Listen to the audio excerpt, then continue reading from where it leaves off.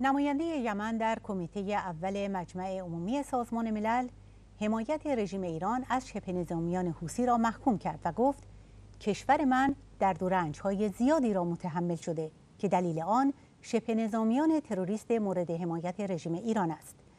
وی افزود شبه نظامیان حوسی دو میلیون دستگاه انفجاری تولید و در بسیاری مناطق کار گذاشتند. در مناطقی تحت کنترل این شبه نظامیان و مناطقی که ترک کردهاند. این مینها هزاران نفر کشته و مجروح بر جای گذاشته است. شامل زنان و کودکان. آنها زندگی در یمن را فلج کردند در این اجلاس مجمع عمومی نماینده استرالیا نیز از نقض برجام توسط رژیم آخوندی ابراز نگرانی کرد.